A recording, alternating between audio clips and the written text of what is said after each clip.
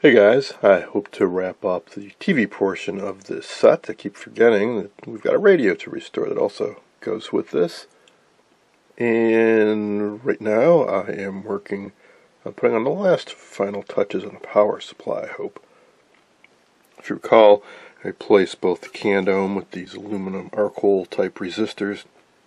And uh, wanted to make sure I had heat, heat sink compound on there and I insulated uh, connections with some heat shrink tubing. And I got a comment about um, someone who didn't necessarily trust the insulation between the resistor contact and the, and the housing. Well, it never even occurred to me to actually look that up. And when I did, um, it wasn't so easy to find. Um, they, I found the spec sheets kind of confusing is they give two voltage ratings, I believe. One, it, it turns out once I realized the formula they're using is the, is the voltage across it, which translates into the power formula of how much voltage and current and how much power this can handle. So it had nothing to do with the breakdown between this lug and the body. It seems to be, well, it depends on the model. The larger ones have more of a breakdown voltage than the lower ones it seems like it's some uh, somewhere on the order of a kilovolt, as near as I could make out. So I think we're okay. And I searched all over various forums and whatnot, and it never it never came up. Um, I was just googling things like what is the voltage breakdown on a aluminum housed chassis mount resistor between a lug and the chassis. How much voltage can you put on this? So there's a lug coming in here and then one coming out, and the resistive element inside, and then it's potted in what appears to be epoxy, and then it's inside of an aluminum housing. Well, you put in a voltage on one of these lugs, it's going to arc over to the body or to the chassis. But I, I think we're fine. I, I mean, I've used these before, it's never been an issue. The spec sheet they didn't, uh, as I recall, they didn't give it in DC. They only gave it in AC, and it was on the order of one kilovolt or more AC. So I think we're okay because we got well below that. So last order of business is this filter choke. Before was measuring 1.5k.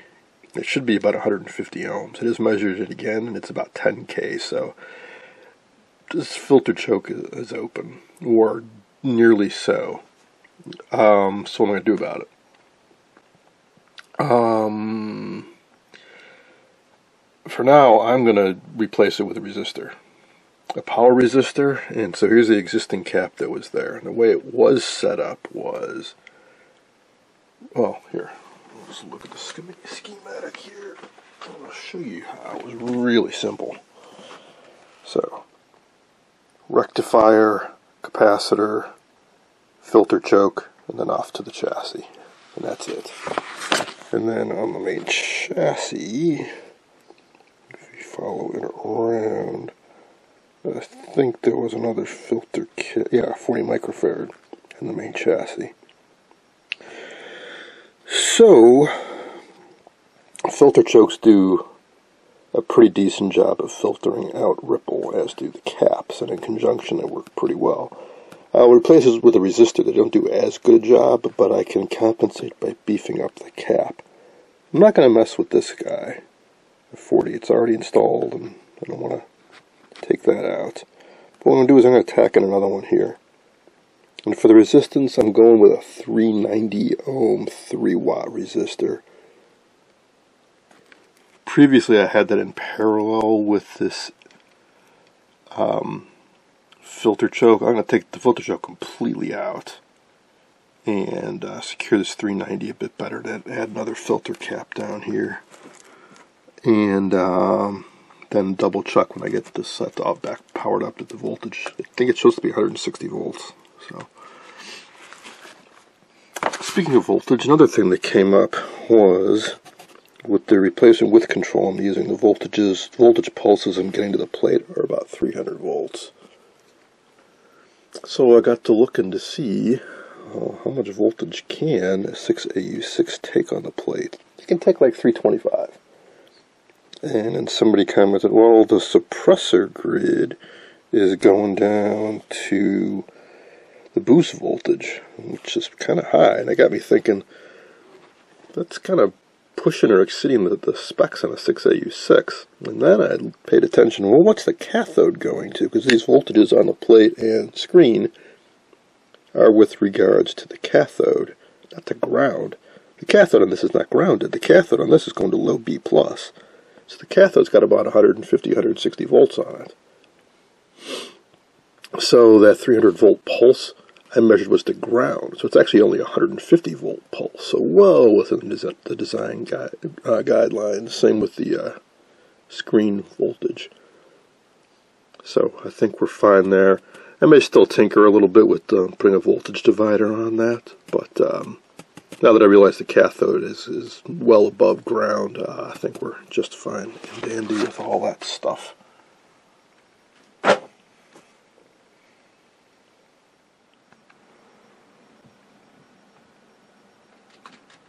I finished work on the main TV chassis that basically involved replacing a few parts up here in the audio section, including the 4 microfarad electrolytic, replaced by this axial guy there.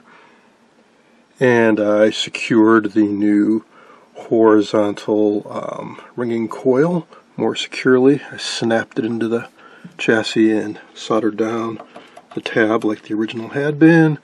This one actually works out better because in the original the lugs are located like this, and this one they're this way, so the leads uh, fit better on it. So, alignment time. Um, before we get into it, I got a, a few thoughts. Number one, I appreciate all the enthusiasm whenever I bring up doing a TV alignment. However, I don't want to dampen your spirits, but I have shown TV alignments before, and on this or a very similar chassis before. And I question how much value you're going to get out of it because people have been disappointed in the past because it raised more questions and confusion than it addressed. And my general response when somebody asks me about aligning a TV is I say get the service info and just do what it says. Because there is no magic way to do it for every TV. General concepts, yes, but it's a very specific procedure for each model, each brand, each design about how you go through it. Give you some simple examples.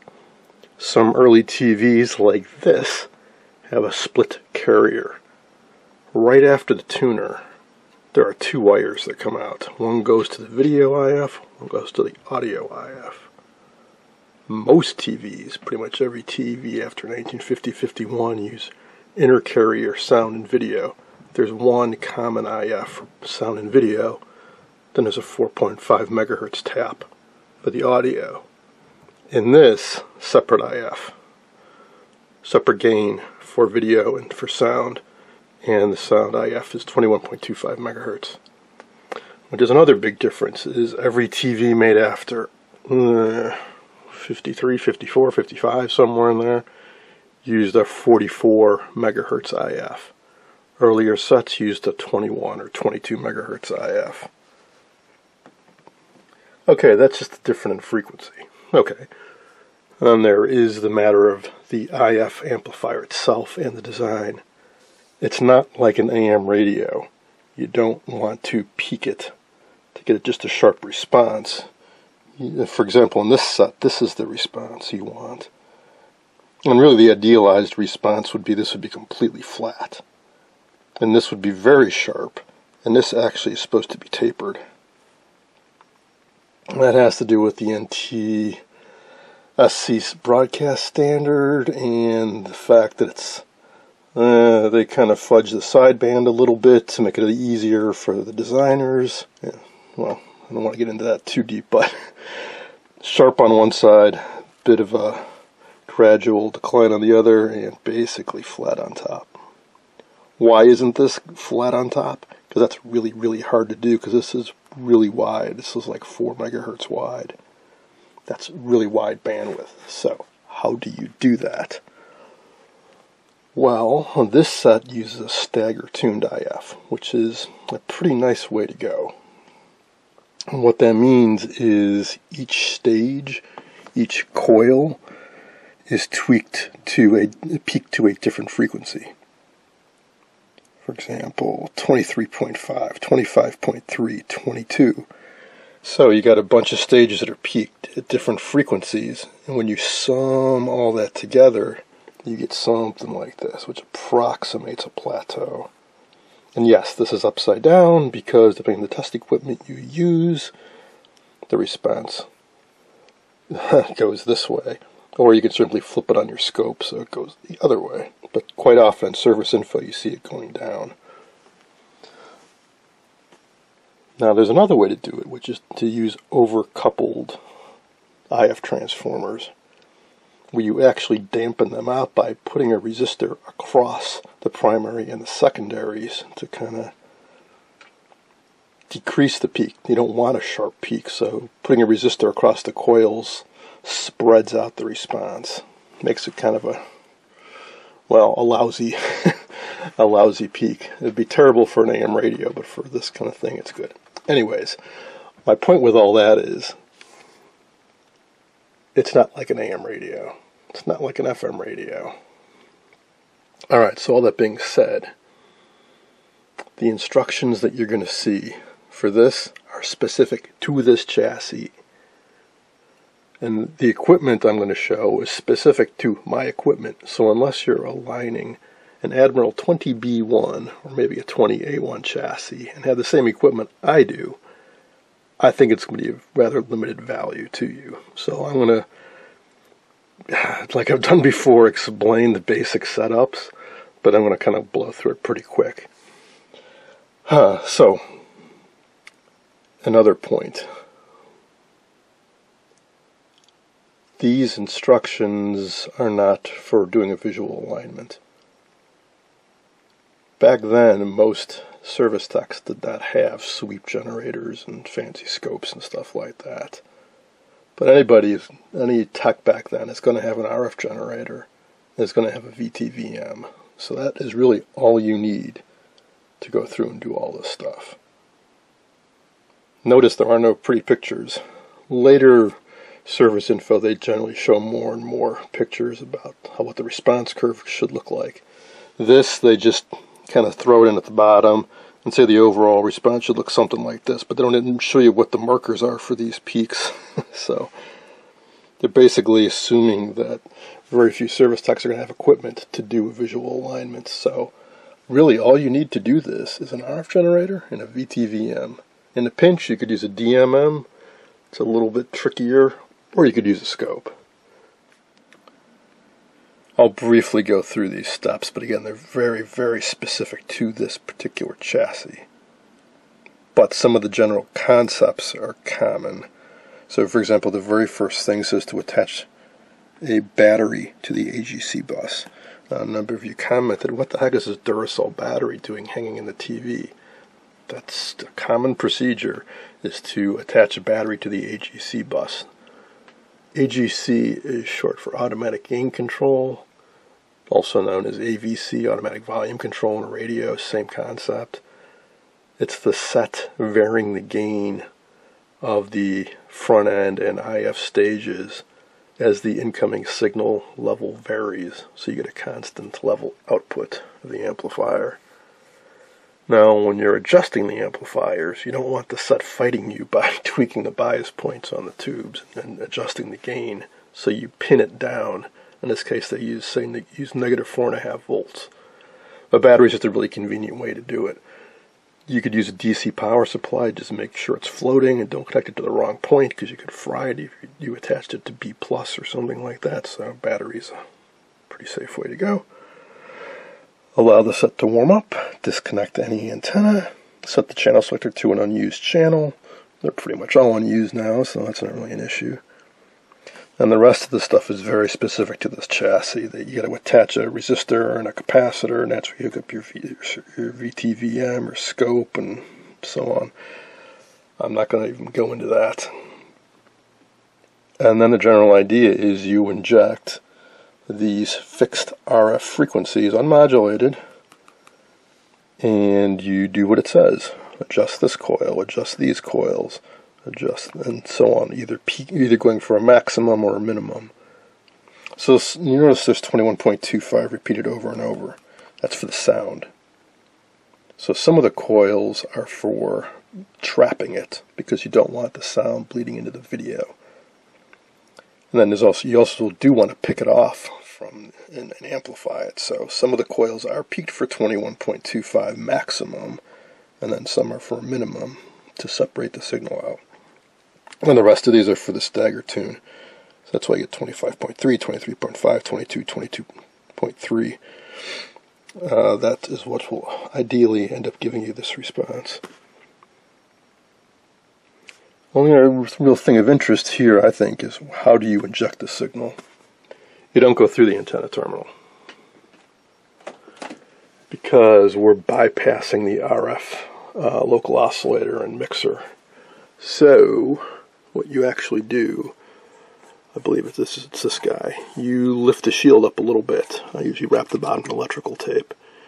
And you clip the high side of your RF generator to the tube shield and put the negative to the chassis. So you capacitively couple your RF signal via the shield inside into the inner tube elements and it'll go into the TVIF.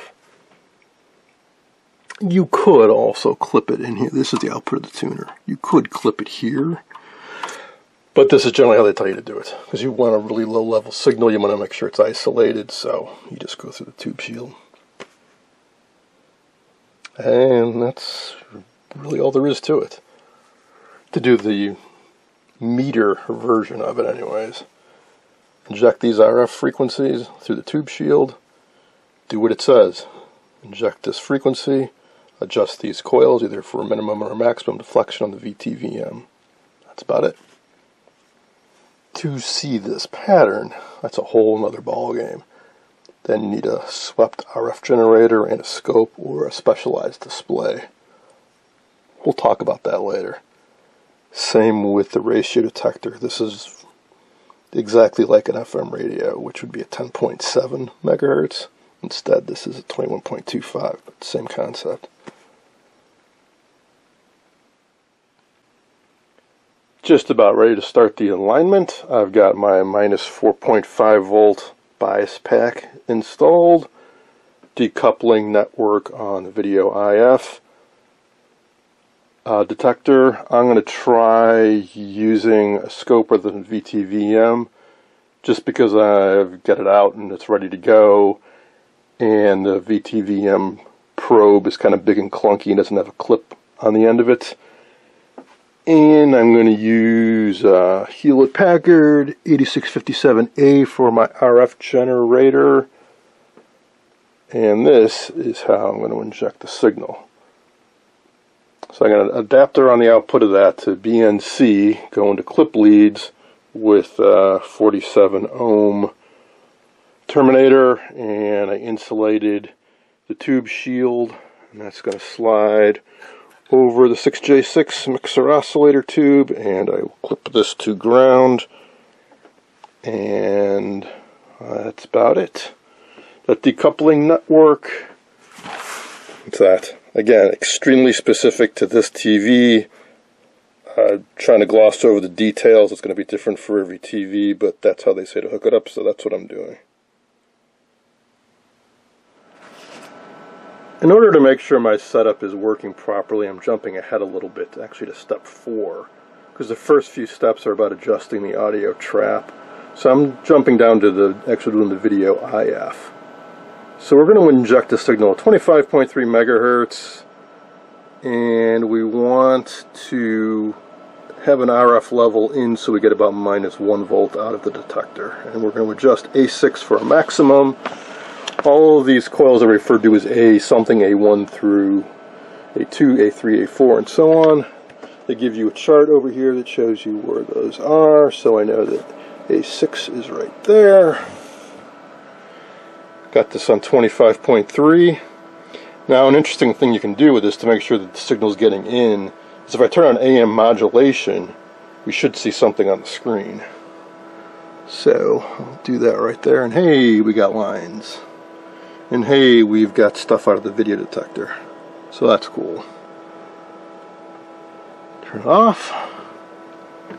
And so the way I'm going to try doing this with my scope here so you guys can see everything. Alright so we want to get minus one volt out. So I want to make sure my scope has got DC coupling and get my reference ground on there and set my output level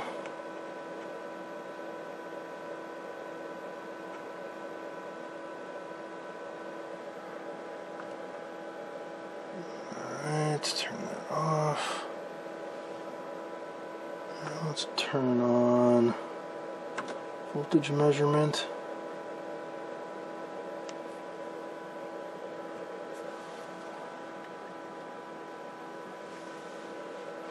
So not much. I can increase the amplitude of the carrier.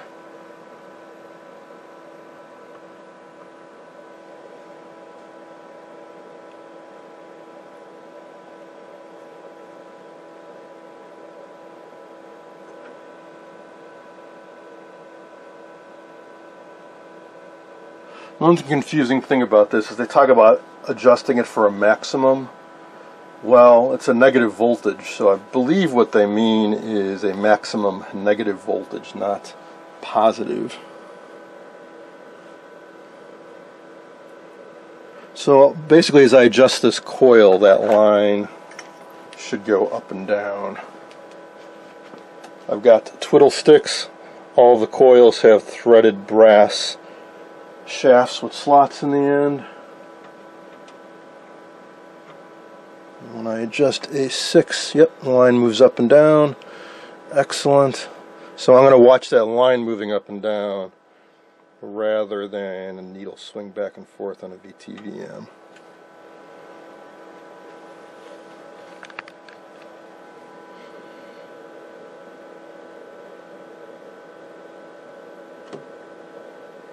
One thing I can do with this scope is invert it so it'll make things a little more normal. So now negative is actually up, but I think it'll make more sense.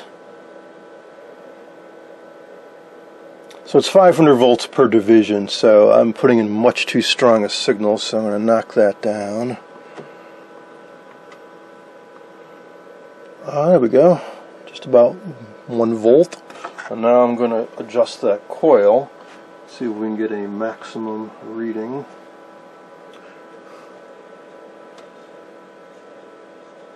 Cool. Now this will work. I'll try decreasing the time base a little.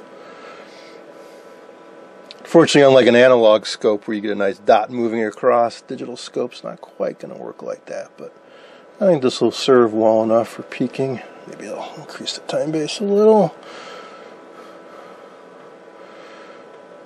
So, yeah, it was pretty much on, dead on where it was.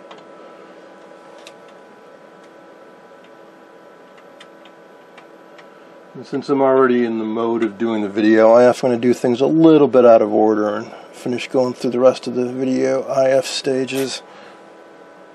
So that was 25.3 and uh, I'll do 23.5 frequency 20 5 megahertz.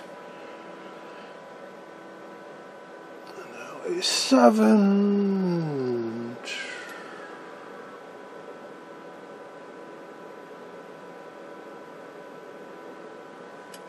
Again, I don't think these are going to be very far off because we have a pretty good picture. But it doesn't hurt to go through the process.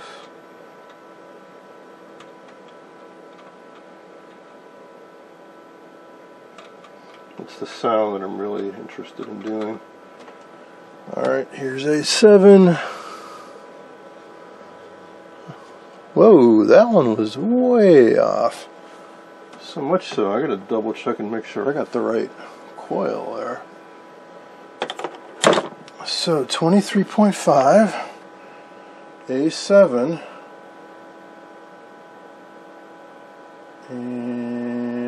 and A7 is the one between the 6AL5 and the last 6 AU6.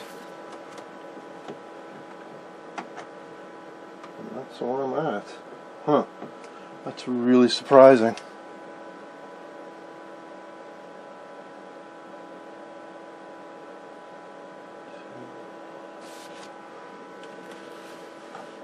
Well, huh, about that.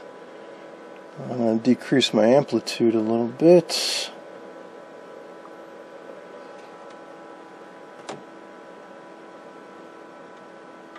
I didn't touch that one while working on this, so. Swapping tubes can affect the alignment a little bit, but I wouldn't expect it to be that much.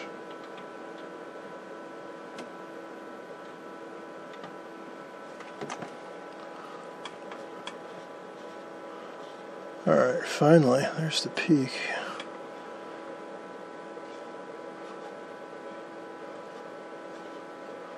Right about there. Well, now I am curious to see how this set is going to look when I'm done. Alright, I'm going to go through and do the rest of the video stages, and then I'll pick up again when I'm uh, doing the audio. Alright, uh, the rest of the video and the audio trap so that you don't get audio into the video was dead on. Now I'm going through and doing step two, which is what I expect will be way off because of my changing the mic caps inside of the video, or sorry, audio IF cans. We're going to be injecting 21.25, that is the audio carrier and we're going to be adjusting A2, A3, A4 for maximum. Those are the cans that I opened up. And we're supposed to have about one and a half volts. So let's get this, and we're right there already. I haven't adjusted anything yet. I got minus 25 dBm going in, so let's get to it and do A2. Which is the top of the first can. So here we go. Now I did do these by ear, but I was off, not by much, but a little bit. Knock my input level down again a little bit. Amplitude minus six. Any of you who have aligned a radio, this is should be pretty familiar territory. Basically, as you peak each stage, you want to drop down the signal level you're injecting so you don't overload the amplifiers. You want to use as low an input signal level as you can while still getting a decent response out. Uh, A3, which is the bottom of the first can. There's only two coils on the bottom you got to adjust. Otherwise, I would have this chassis flipped out and do them all from the top side. But there are two down below you got to get at. Well, this one also wasn't too bad. Again, did it by ear. So, as you can see, yes, you can peak a radio, a TV audio by ear, but it's not going to be perfect unless you're really, really, really good, superhumanly good. So I was close, but I was off a bit. And I know the ratio detector, the very last part, is definitely going to be off. And you cannot really align video by looking at the screen. You can maybe kind of sort of get it looking good, but uh, even with a really good test pattern, and I mean, I'm not saying you can't do it, but I don't think it's worth all the frustration we're going to go through versus having uh, all the proper equipment and going through the proper procedures. All right, one left to do, A4, which is the bottom of the last coil.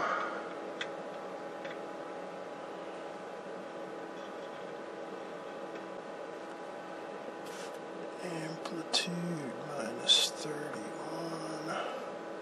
So I started out with an amplitude, I think, of minus 25 dBm. I'm now down to minus 31. So that's pretty significant boost in the gain.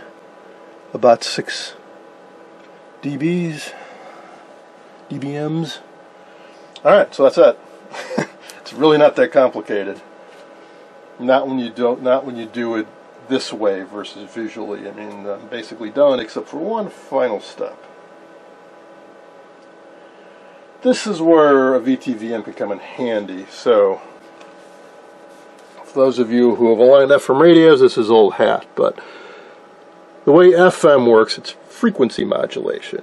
Our carrier is 21.25, so as the audio is modulating this, it swings back and forth in frequency we want to center the ratio detector coil so we get no output at 21.25 and as we swing to either side of that frequency we should get a positive or a negative swing on the scope. So let's see if we can do that with this setup. So I got to move the scope connection.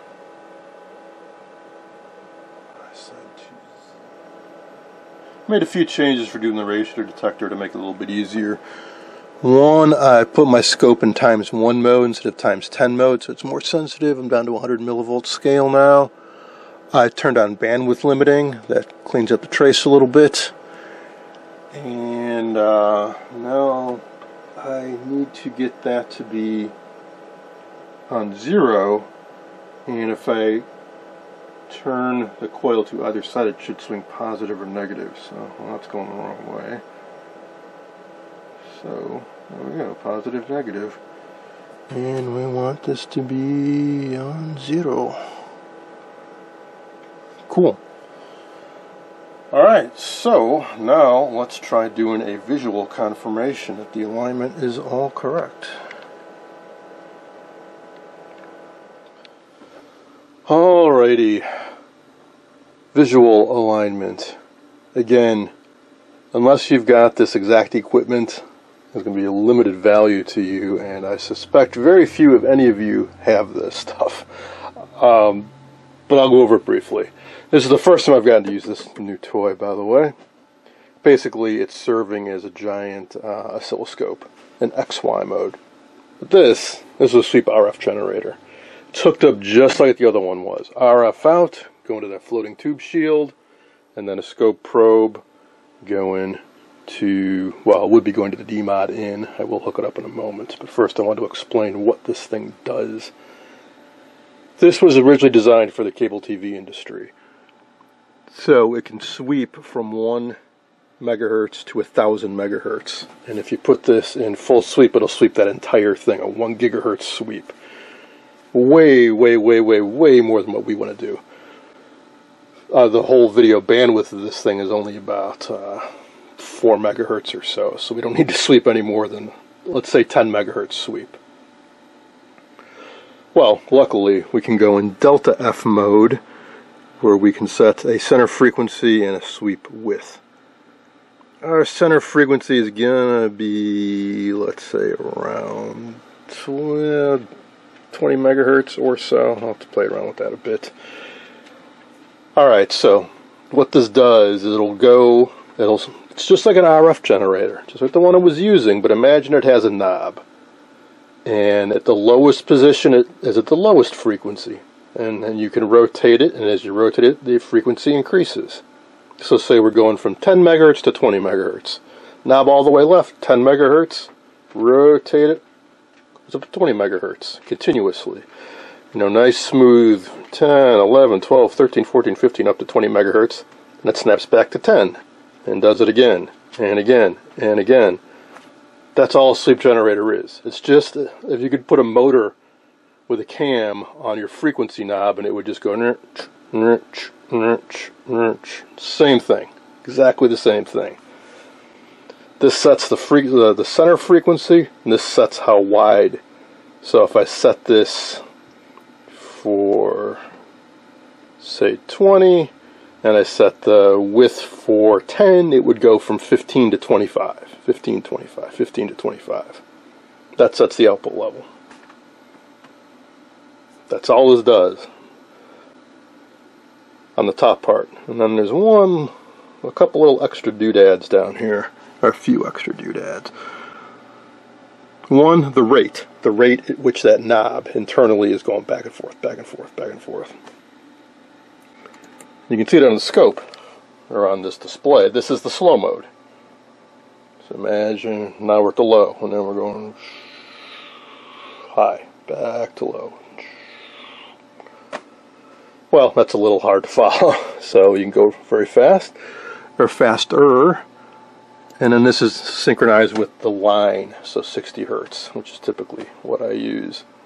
The slower, the more accurate. If you go too fast, it'll be sweeping back and forth so fast that the it can affect the results.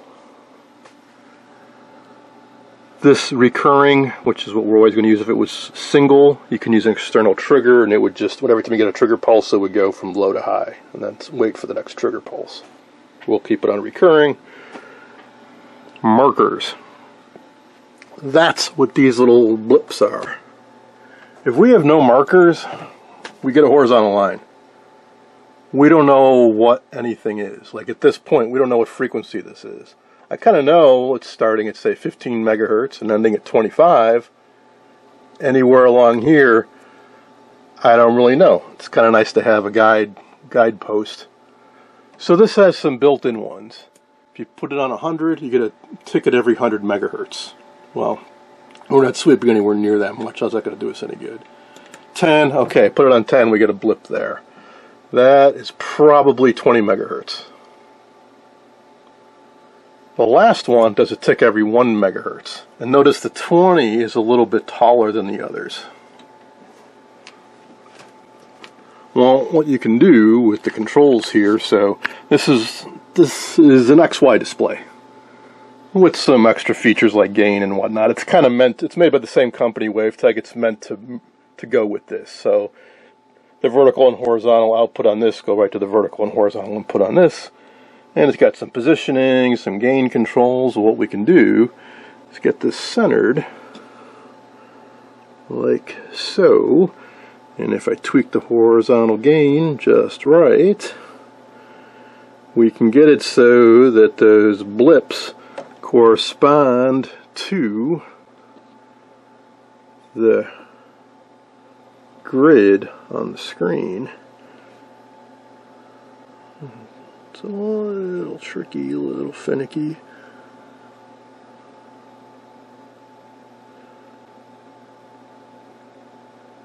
But once you get it,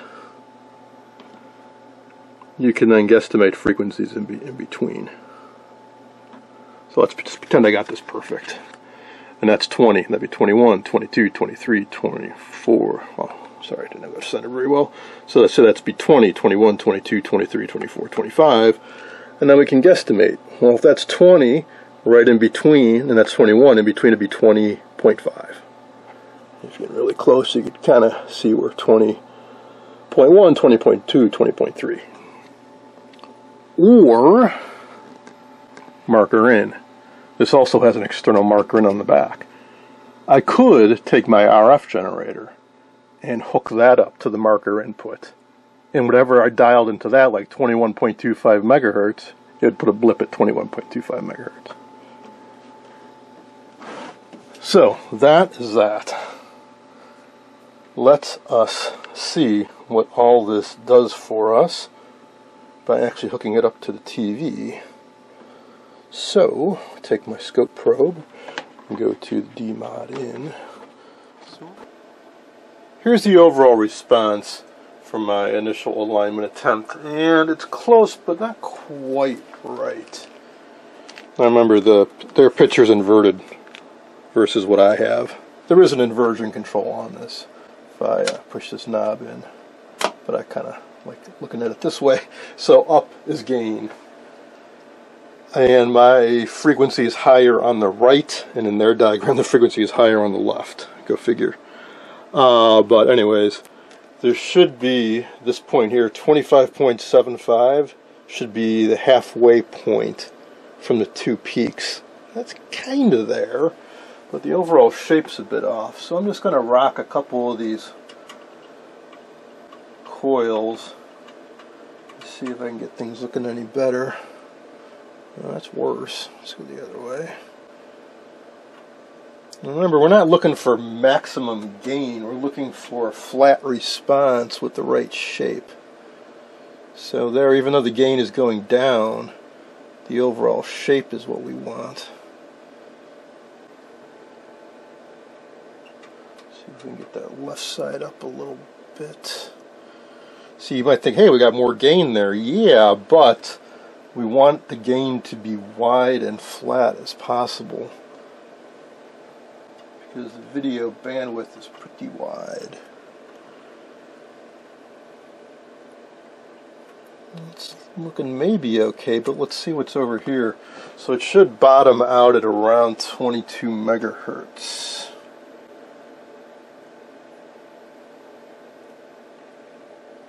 It's 22 megahertz down there. That's not so bad. And it should be totally zero at 21.25 because that's the audio. We don't want any audio bleeding through into the video. That's over there. It's definitely very low.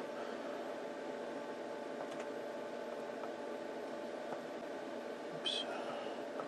22 megahertz. I'm going to boost the gain up a little bit right there.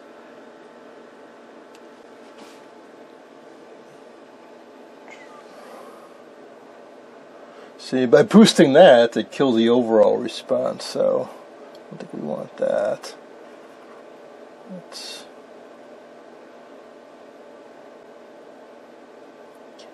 try around there. I'll ch double check that 2575 again. That's about halfway. See if I can even up those lobes a little bit.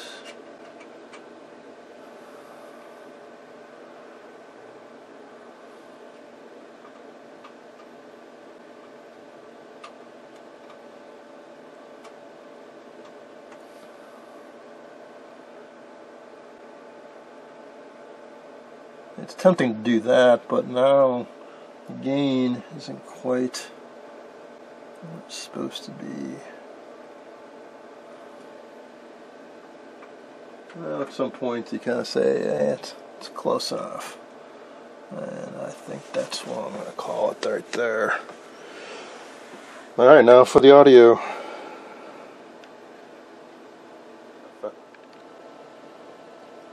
Now I'm checking the audio response of the ratio detector, and I'm glad I did. I had a lot of trouble with this. I found numerous spots on the slug adjustment where it seemed to cross over zero, and the response would go up and down as I passed that point.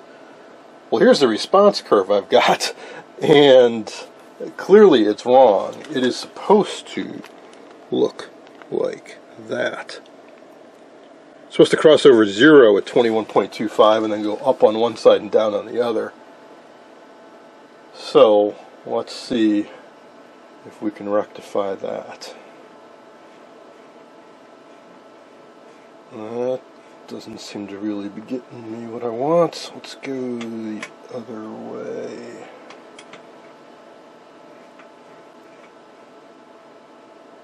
Ah, that's what I'm talking about.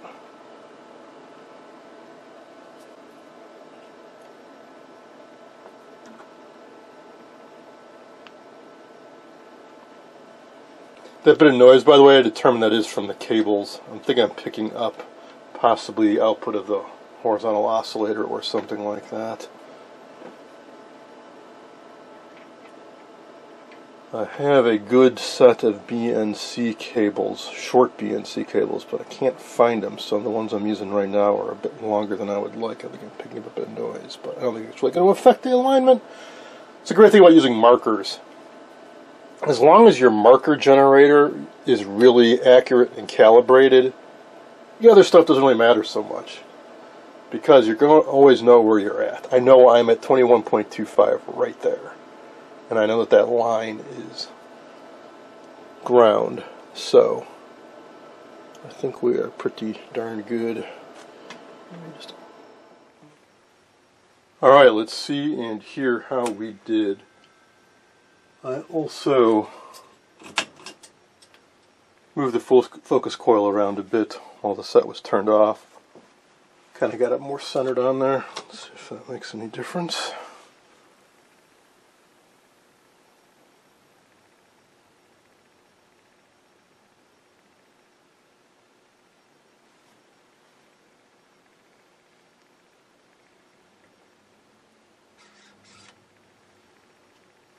Focus does look a bit better.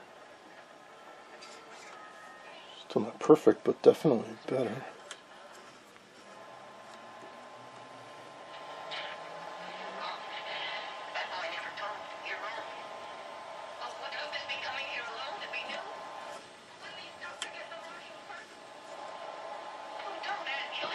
Audio is not so hot, but I may need to tweak the channel fine-tuning slug try a different channel.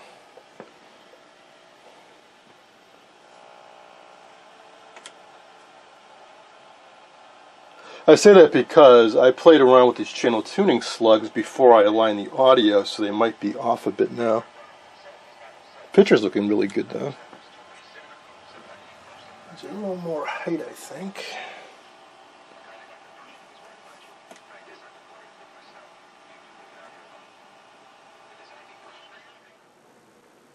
I went over the audio alignment, checked my work down below, everything seemed to be okay. Checked these tubes again and found the 6 SJ7 was weak, I replaced that. It seemed to get a little bit louder, but it was more like it just amplified the background noise a little more. I don't remember having trouble with these converter boxes before. So, uh, in fact, uh, particularly with early Admirals, so I flipped this over to channel 6 and hooked up just a really crude long wire antenna. So as I've said many times before, our channel 6 here is 87.7, which is really an FM radio station that has a weak video subcarrier that's NTSC, so you barely get any video, but and then it the title of crystal song, clear booming record. audio. I've read a couple different places that you you look at this record so I think the problem is really with this converter box. So I'm going to try uh, some other sources. One, I'm going to get a test pattern generator out because I need it anyways to align it, and that has a tone generator. And we'll see if that comes through loud and clear. Then I really think it is this box. I do have another type. Somebody asked me for recommendations.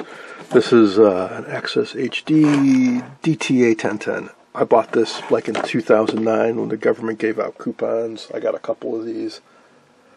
Uh, recently, somebody gave me another one. They were gonna gonna toss. I don't know if they make these things anymore, but like from any brand. I mean, the conversion happened over a decade ago. Um, but one thing I, I have tried with these before is they do have component out. And I do have uh, an external RF modulator I can try using. Seems kind of silly, but take this, take the baseband video and left channel, left and right audio, and then ignore the RF modulator in this and use an external RF modulator and feed it into this. So why would that be a problem? Why can't I get it with good sound with this? Because they may have fudged the audio subcarrier a little, a little bit and it's not at exactly the right frequency it should be. Another option I've got is to use a Blonder Tongue uh, commercial modulator. My test pattern generator of choice these days is a Sencore VG91. Let's see how this set performs it's warming up. Uh, so this can do a bunch of stuff, but it uh, is really uh, geared for the newer 45 type IF stuff, so I can't use most of these functions. Ah, well, we seem to have some pretty good sound. Yeah. So I'm really, really thinking the problem is that converter box. And uh, like I said, I've had trouble before. I got a feeling that that probably doesn't work well with any set that uses a split carrier for the sound and video. Anyway, I'll uh, get the camera on the tripod and let's uh, tweak the picture. Alright, so here's a basic crosshatch pattern. A couple things right away. Uh, horizontal linearity is really, really good. Uh, vertical, it's a little bit scrunched at the bottom, stretched at the top. Uh, but otherwise, things are looking pretty good. Uh, there's a circle again. Horizontally looks good, vertically messed up a bit. Squeeze by the equipment here and get it to control on the back. So when a mirror starts to be handy because hard to see what you're doing. So there's two controls, height and linearity, and they definitely interact with one another. Kind of hard for me to see what I'm doing. I'm reaching around the back. It looks better to me, but it's up too high. I'll have to do that with the centering magnet on the back. Or not centering magnet, the uh, focus coil.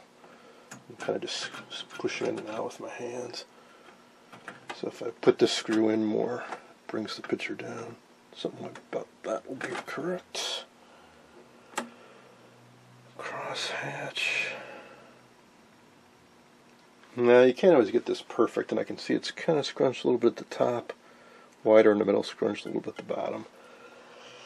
Uh, sometimes you just gotta start try swapping the vertical output tube to get that to be any better. Color bars aren't going to do us much good here, but this is the one I wanted to see. This gives us a pretty good idea of how good the alignment went. These, this is a multi-burst test pattern. So these correspond basically to bandwidth.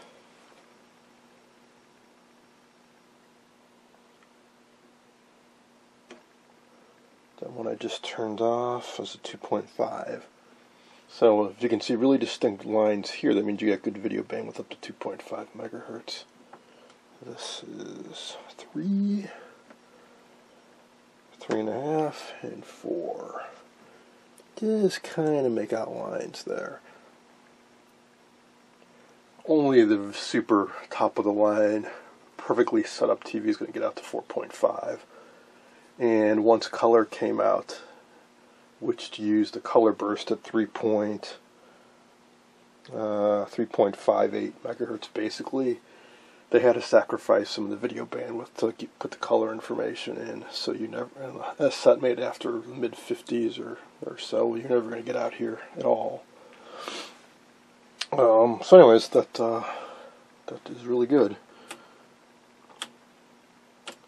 More color test patterns.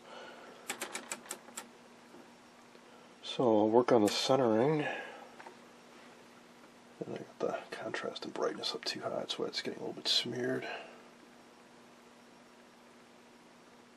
And remember this picture tube has got uh, some issues, so gotta factor that in a bit too.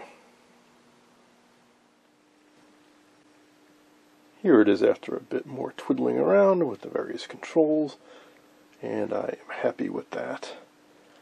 It turns out to get any focused, uh, to get it to focus any better, the focus coil needs to go back, and it, I can't really go any further back. So the only thing I can do is alter the circuitry a little bit to either increase or decrease the coil flow, the current flowing through that coil. Otherwise, everything's working quite well. Audio sounding good.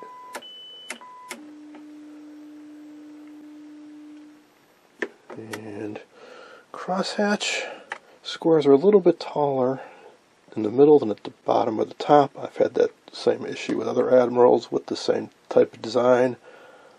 I think that's just the way it is. And again, here's that multi-burst pattern.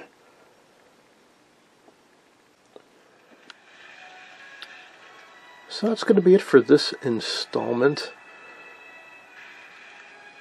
We pick up next, I think I'll do some experimenting with the focus coil and uh, see if we can try some other method to get video in this to get cleaner sound and then start thinking about restoring the radio chassis.